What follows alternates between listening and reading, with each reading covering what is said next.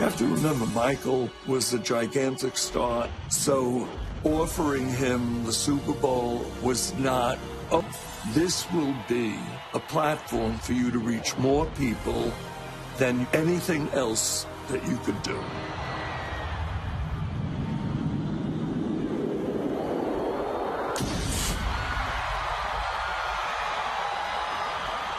Two days ahead of time, Michael called me at my house at 3 o'clock in the morning and said, I want to determine when the show starts. I have a, a, a concept for the beginning. And the cue was, and that's when you prepare to roll the trap. When he gets on the stage, he's like a general. Michael, he always said, like, make them wait for it, you know? You got to marinate in it.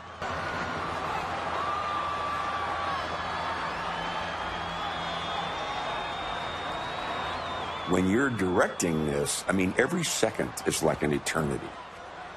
And I start to just shout, Michael. Take five. Come on, Michael. Do it. Stand by VT Baker. By. Here we go. He can't hear me. I'm just losing it. Come on, Michaels. Do it, baby. Set. All the camera guys can hear me. Come on, Michael. But that was the deal that I had made with him. Roll Ready shot 12 Ready shot two. two. Coming to two. Ready shot 12 a little bit two. tighter, two. A little bit tighter. Wolf. Ready two.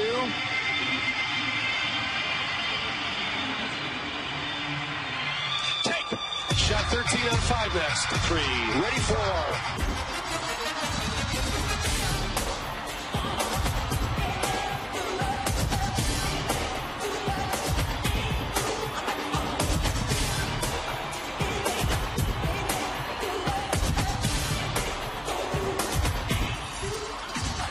Had done so many things that had broken barriers, broken expectations, rewritten the rules, and his Super Bowl performance was really extraordinary.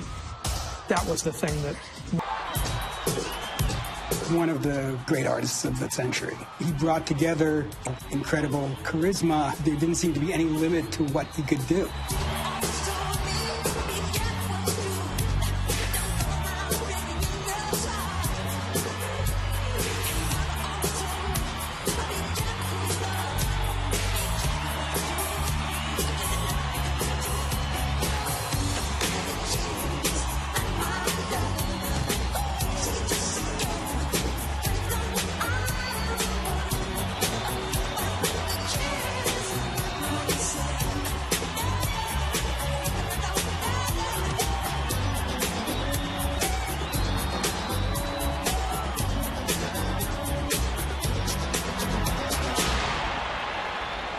You couldn't hear in the stadium because all he created this spectacular show. The halftime performance actually beat out the rating, or it was an extraordinary success. you know, one definition of greatness is you're presented with these opportunities with around it and you surpass that. You exceed that. And that was Michael Jackson. There's a place